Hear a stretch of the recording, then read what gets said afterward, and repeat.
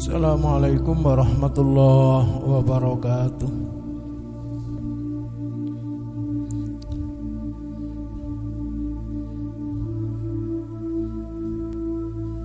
Hadis yang ke-27 Saya bacakan ditirukan. Bismillahirrahmanirrahim. Al-hadisus sabi wal ishrun Anin Nawas Ibni Sam'an radhiyallahu an. Anin Nabi sallallahu alaihi wasallam. Qala al birru husnul khuluq. Wal ismu ma fi nafsika wa karihta ayat toli'a alaihin nas. Rawahu muslimun. Saya ulangi lagi. Al birru husnul khuluq. Wal ismu ma haka fi nafsika wa karihta ayat toli'ah. Alaihin nasu. Bismillahirrahmanirrahim. Alhamdulillahi Rabbil Alamin. Allahumma salli ala Sayyidina Muhammadin. Wa ala alihi wa sahbihi wa sallama tasliman kathira amma ba'du. Jemaah sholat zuhur Masjid Cahyaning Ati Permata Jingga. Mudah-mudahan kehadiran pertemuan kita menjadi sebab kita nanti bertemu di surganya Allah Ta'ala. Di surga Firdaus. Ya, ini nikmat yang besar ya. Siang hari ngantuk-ngantuk ewul ewul apa kadit nah, tapi gelem ngaji wangel Pak abot itu. Nah, ini merupakan nikmat yang besar. Kajian hadis yang ke-27. Qauluhu sallallahu alaihi wasallam al birru husnul khuluq.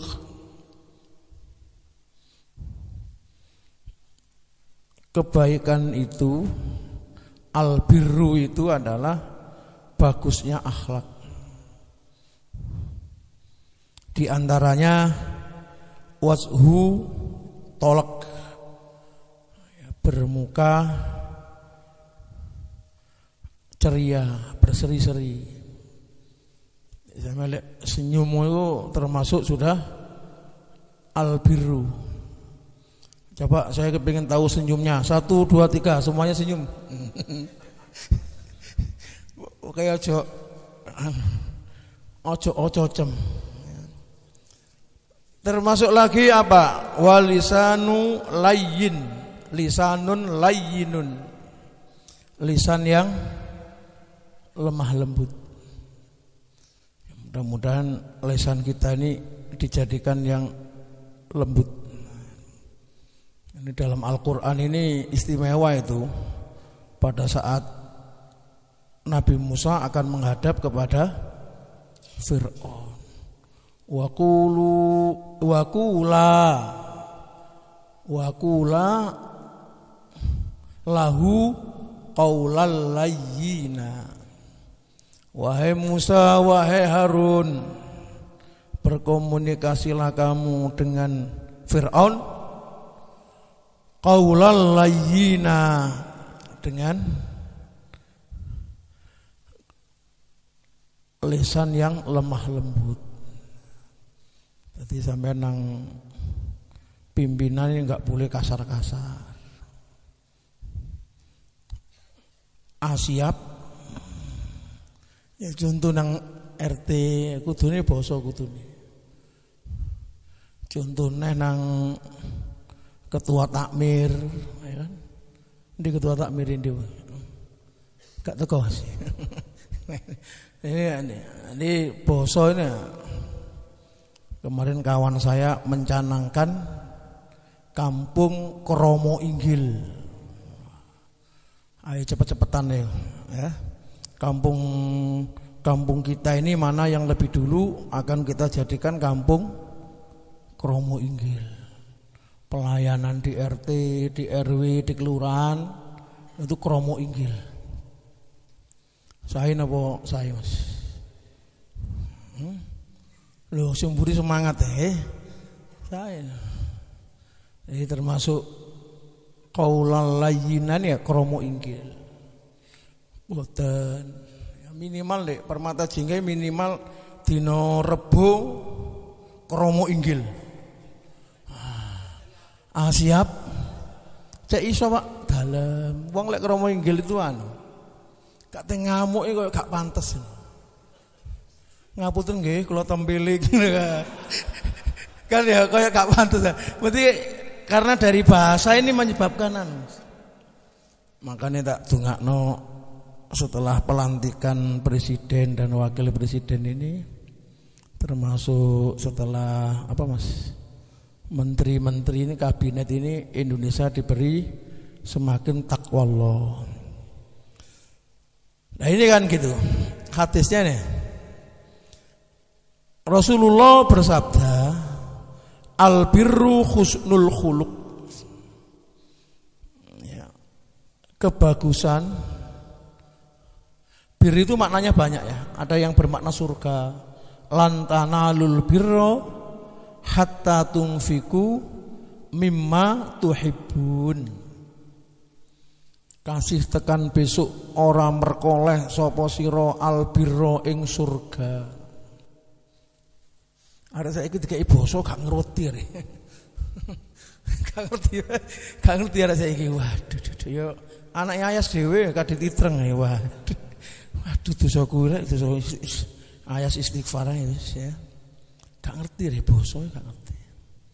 Jadi kalau nggak boso itu kan anu Mas, apa ya? Bahasa Jawa itu kan ya, ini mohon maaf yang di luar Jawa ya. Kalau bahasa Jawa itu bahasanya kan lengkap Mas, lengkap. Kalau kamu itu kalau kepada bapak jenengan, panjenengan ya kan? Lek bahasa Indonesia kan gak iso, Mas. Kamu ya kamu. Sopo nak kamu lho, Pak. Waduh. Rasane kayak pegel. Di kamu-kamu noy rasanya kayak wadis godek tok ini. Dan memang lengkap itu bahasa Jawa itu. Kalau ada orang jatuh bahasa Indonesia-nya apa? Bahasa Indonesia jatuh. Lek Jawa dawa. Lek tibone nang ngarep Julungup. Apa nih? Hmm? Le jatuhnya ke belakang apa? Geblak, lu sih sih. Delosor. Jawa itu banyak.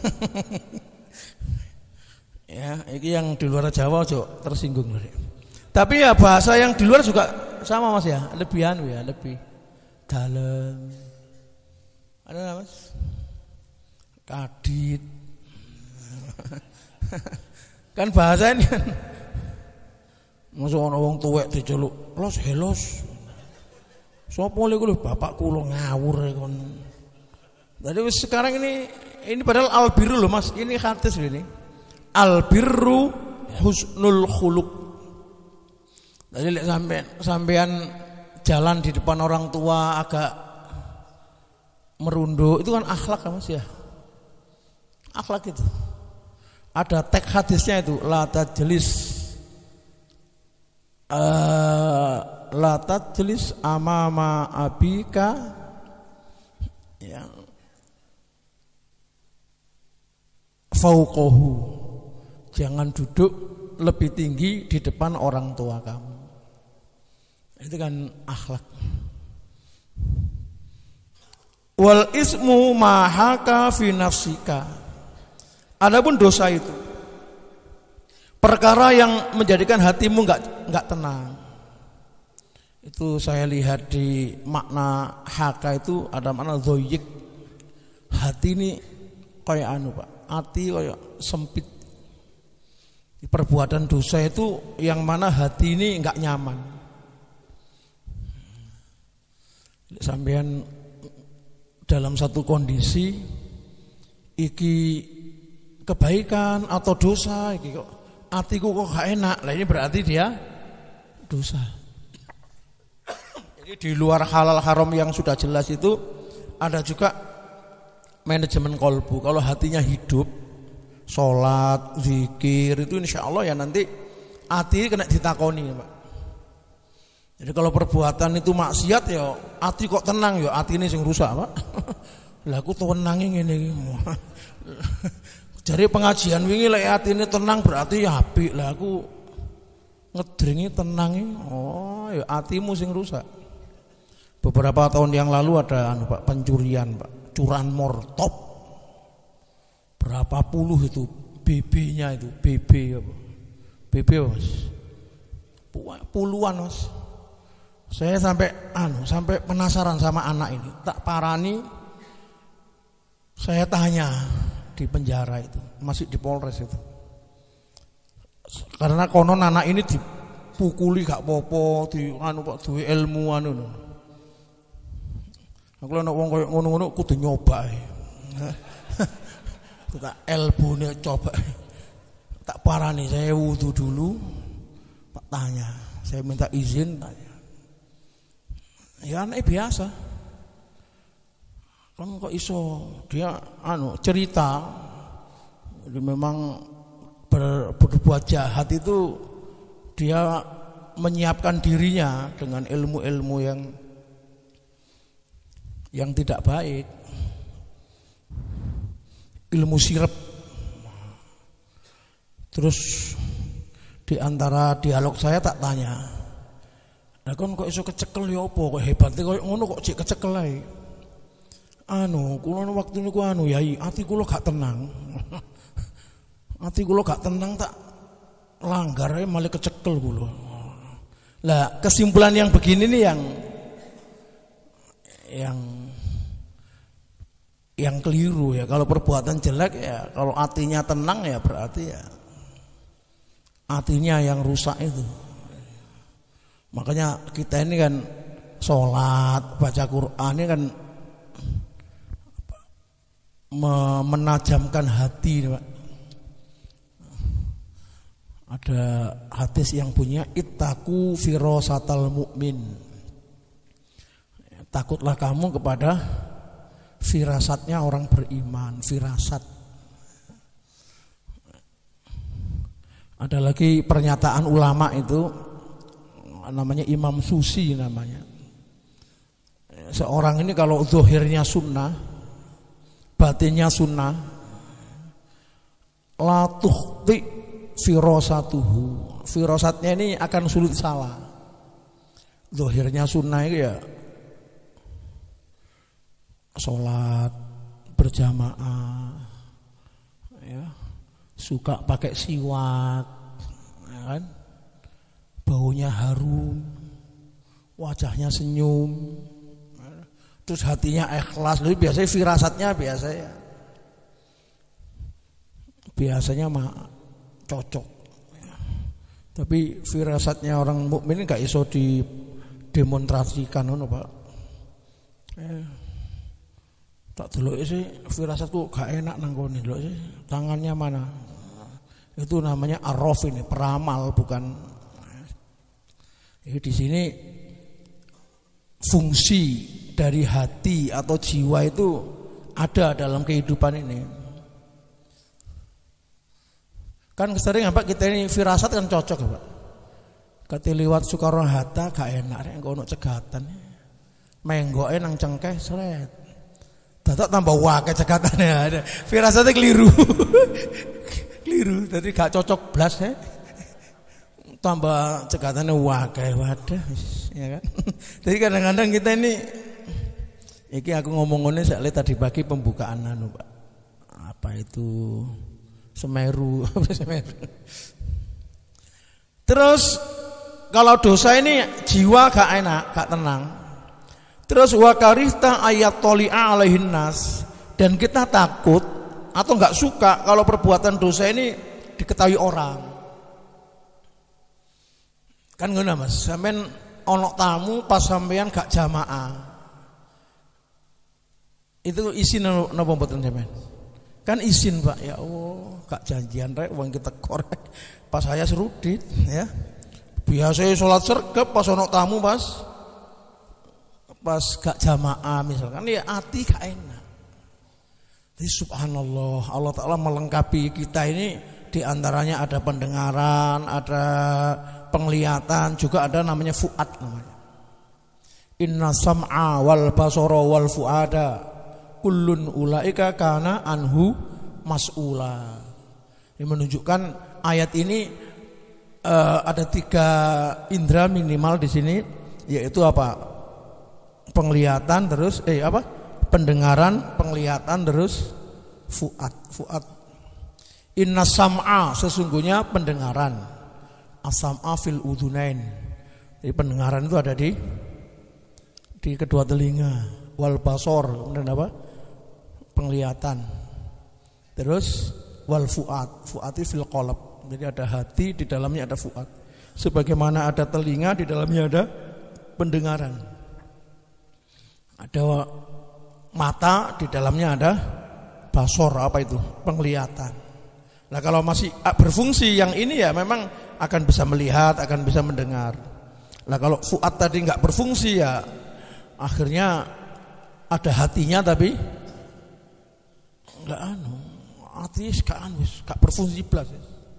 Ngamuk tenang, dosa tenang, ya kan? Tenang sak karepku wis penting bebas itu bahaya gitu itu Anwa bisoh ibni Ma'bad radhiyallahu taala qala ataitu Rasulullah sallallahu alaihi wasallam faqala cita tas'alu anil birri qultu na'am ada sahabat namanya Wabisoh ibni Ma'bad Siapa namanya? Wabisoh ibni Ma'bad. Aku datang kepada Nabi Muhammad Sallallahu Alaihi Wasallam. Terus Rasul ini bertanya kepadaku. Jadi Wabisoh belum matur, Nabi dulu yang yang menegur. Apa kamu mau datang bertanya tentang perkara kebaikan? Jadi para sahabat dulu itu datang ke Nabi itu yang ditanyakan ini akhirat, kebaikan. Itu sampean biasakan gitu itu. Ketemu ustadz itu siap-siap bertanya tentang kebaikan. Lah saiki tamu rata-rata gak ya, Pak. Tamu rata-rata dagangane lancar. Kepingin nyalokno lurah. Akhirnya malah ya ini mikir dewe wadah tak tak nyalok no dewe wis. yang tanyakan dunia. Semestinya bertemu ini tanyakan tentang gimana kok begini. Bagaimana hukumnya ini? Harus mestinya begitu. Ini Wabisoh ini tanya tentang albir. Kalau Nabi menjawab, kalau kamu kepingin kebaikan, istafti kolbaka mintalah fatwa kepada hatimu ya urusan apa apa ya termasuk juga apa sampean istikhoro ya kan tak tungakno sing jomblo ndang oleh pasangan ya kan? Istikhoro kok hati kok tenang. Oh kita kok Allah samblek ae. Kan? Kesuwen ya, bungkus. Kon karo rujak bungkus sing ya. tapi kok istiqoroh kok hati gak tenang jangan. Sehingga Rasul katakan istafti kolbaka albirru matma'annat ilaihin nasu wat ma'anna ilaihil kolbu. Kebaikan itu yang mana jiwa menjadi tenang. Demikian juga hati. Hati dan jiwa tenang. Ya, makanya ada piranti-piranti ya. Kalau sampean menghutangi orang itu albiru atau al ismu mas albiru itu kebaikan al ismu itu keburukan Sampean menghutangi orang itu albiru atau al ismu? Albiru. Lah supaya menjadi tenang hati kita kan menghutangi jelas baik kan Mas, ya. Maka agama mengatur ada tulisannya, ada perjanjiannya. Kadang-kadang perbuatan itu jelas baik, tapi karena syariatnya nggak dilengkapi akhirnya nggak tenang. Kalau bukti, waduh Wong teko-teko mau aku nyili duit pak, tolong atas juta, kayak langsung, tanpa ada perjanjian, tanpa ada tulisan, tanpa ada saksi. Mulai jelas yang menghutangi mikir itu, waduh, ini balik tak kadit, harus kena gendam rek ayah semangat kan. Jadi supaya tenang itu syariatnya dipenuhi. Jadi hati ini akan kita tanya dan hati akan menjawab ya tatkala semuanya sudah. Tapi kalau syariat itu sudah dibuat semuanya kok hati nggak tenang? Itu dari setan. Wis setannya ini menjadi harus di harus ada tawakal di situ. Wal ismu mahaka fi nafsika wa taraddada fi sadri. Adapun perbuatan dosa itu yang menyebabkan hati kamu nggak tenang. Gundah gulana. Datang pergi datang pergi. Wa in aftakan nas wa aftauka. Walaupun kamu ya orang-orang itu menfatwakan kepada kamu berkali-kali mereka menfatwakan perkara itu kepada kamu kalau perkara itu jelek maka hatinya akan menolak Jamaah yang dimuliakan Allah Ta'ala Beberapa pelajaran di antaranya adalah pentingnya mengasah hati. Di orang-orang dahulu itu informasinya sangat terbatas ya. Belum ada Google, belum ada macam-macam ya, informasi sangat terbatas, tapi rohani atau hatinya itu kuat. Kuat. Mudah-mudahan umi saya dan umi ibu panjenengan yang sudah meninggal masuk surga. Itu saya di luar negeri ya. nggak tahu apa, belum mau ada telepon di rumah itu. Umi meninggal itu saya terasa itu. Hati itu anu, hati itu Allah Taala kasih kasih tahu. Makanya di antaranya kan sebelum tidur baca apa mas? Apa? Al-Fatihah, Al-Ikhlas, Al-Falak, An-Nas. Ya kan? Terus ditiupkan ke tubuh. Ya, ayat kursi. Kata Nabi kalau seorang itu membaca wirid-wirid tadi insya Allah mimpinya itu mimpi bener sehingga ada ulama namanya Ibnul Qayyim Jauziyah. Siapa namanya? Rahimahullah. Beliau menjadikan kerentek yati itu ada dua itu. Kerentek itu bahasa Arabnya hawajis. Apa bahasa Arabnya ada yang saitoniyah, ada yang rohmaniyah. Ada hawajis yang dari setan. Ada hawajis yang dari Allah. Kalau sesuatu itu bertentangan dengan syariat, pasti dari setan. Jadi jangan sampai makna ifta if istafti kolbaki diartikan mutlak jangan. Kalau sesuatu ini jelas melanggar ya gak perlu minta fatwa hati. Atau kadang-kadang setan ini menggoda orang ini mas. Atine ku terus kok tambah gini. Ya, itu dari setan. Kalau baik itu dari Allah. Yang berat itu campur, namanya ilbas. Ada orang punya masalah berat ini. Terus dia mimpi. Ono bisikan, jelas bisikan. Kalau kamu kepingin urusan kamu selesai, kadang-kadang suarane dirupakan koyok mbah mbah tua. Kalau kamu kepingin urusan selesai, jangan pernah melupakan sholat duha. Ini kira-kira dari mana ini? Informasi dari mana ini? Dari Allah. Dua, jangan pernah menyapa mertua kamu. Dari mana ini? Lo kadang-kadang begitu, bentuk ngono itu banyak. Jadi koyok campur.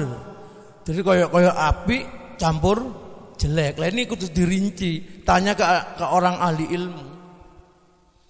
Nah, itu ada yang namanya ilbas namanya. Jadi beberapa seseorang itu celaka dikarenakan tidak bisa memahami dari hawajis atau kerentaknya hati tadi itu. Ada yang jelek, ada yang buruk. Kalau jelas melanggar syariat berarti itu dari setan.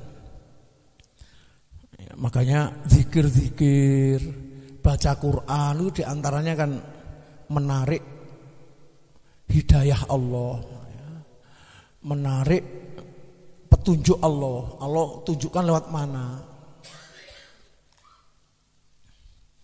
baca surat Al-Mulk Insya Allah mimpinya itu mimpi yang yang baik. Dari Allah petunjuk. Turu ngipi ketemu Jackie Chan. Ya soalnya mari delok film ya jadi ngelambiar ya jadi. Mimpi ngelambiar itu ya ya kita caranya begitu memperbanyak amal menjaga amalan fardu, memperbanyak amal sunnah, insya Allah itu, insya Allah firasatnya itu, insya Allah baik. Nanti kita kan semua jadi orang tua pak, orang tua ini lah amalan istiqomah, putu takon itu insya Allah ya pas ya, pak. Ini takon, bah kalau diceluk dua perusahaan bah, firasatnya pun sing saya bah. Perusahaan mana nak? Surabaya sama Jakarta. Baik minta sama Allah besok nak tak jawab. Itu caranya. Malam banyak zikir baca Quran insya Allah Allah kasih petunjuk dari istiqorohnya itu. Mari ditakoni ngono terus turu. Terus jawabnya ngawur Surabaya nak kerja tulung bulan tutup wah mbah ke dapur mbah wis mbah di dapur ke dapur karena firasatnya gak cocok yang memperbanyak amal sunnah itu di antaranya firasatnya itu insya Allah lam tuhti firasatnya pas itu. Ya dengan sendirinya Allah Ta'ala memberi bukan mencari-cari. Demikian sebelum ditutup kafar majelis ada yang bertanya? Kita tutup dengan doa kafaratul majelis subhanakallahumma wa bihamdika asyhadu an la ilaha illa anta astaghfiruka wa atubu Assalamualaikum warahmatullahi wabarakatuh